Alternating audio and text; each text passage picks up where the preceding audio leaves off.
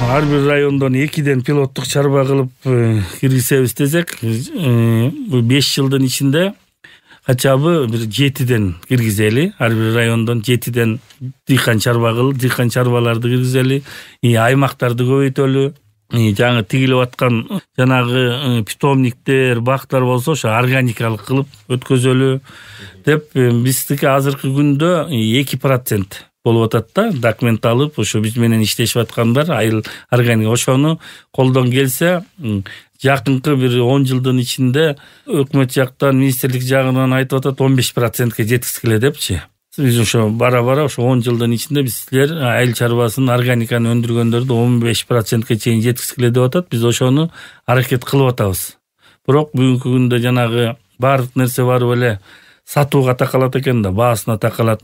Ошон үчүн кичине жайыраак болуп атат. Но биз ошону аракет кылып атабыз. Мына өзүңүз деле көрүп атасыз да.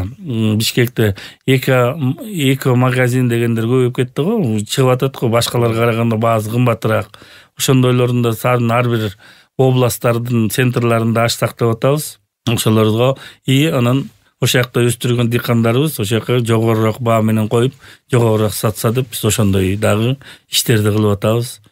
Анан кийин ошо өзүбүздүн эле кыргызстан менен эле байланып калбай мына бир токмокто текстиль транс деген чоң фабрика ачылды чүй областына былтыр үч жүз гектар пахта тигишкен быйыл миң гектарга жеткирип атышат алардын дагы өткөндө коммерческий директори э, руслан бейшенкулов менен сүйлөшкөнбүз алар дагы поэтапно ошо органикалык хлопок кылабыз биз дагы ошо бренд кылып өзүбүздүн өндүргөн органика хлопок анан өздөрүнүн материал кийимдерин экспортко чейин чыгарабыз деп аны менен да сүйлөштүк. Эми э, меморандумга кол коюшсак алар да бизден ошо органик быйылкы жылы бир жүз жүз элүү гектар пахтасын ошо органикага өткөзөбүз деп сүйлөштүк. Пока меморандумга кол коюла элек огуз эки түрүндө сүйлөшүп атабыз. Ну келечекте алар дагы ошо органика менен анткени башка мамлекеттин талабы органикалык таза биохлопоктон өндүрүлгөн кездеме кийимдерди бергиле деп атыптыр алар сүйлөшкөнүбүз боюнча эми ошолор менен да ошондой иштерди алып барып атабыз